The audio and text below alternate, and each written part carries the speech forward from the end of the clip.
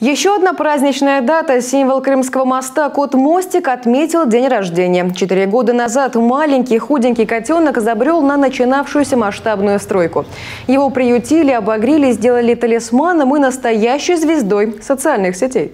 Четыре года коту, четыре года с нами на мосту. Свое четырехлетие мостик встретил на рабочем посту. Именинник сопровождал инспекторов, проверяющих железнодорожные пути перед запуском поездов по железнодорожной части Крымского моста. Коллеги не забыли о празднике. Строители опубликовали на страницах талисмана в социальных сетях видео с поздравлениями. На котика надели маленький цветной колпачок, зажгли свечи на мини-паровозике и угостили хвостатого праздничным блюдом – аналогом торта.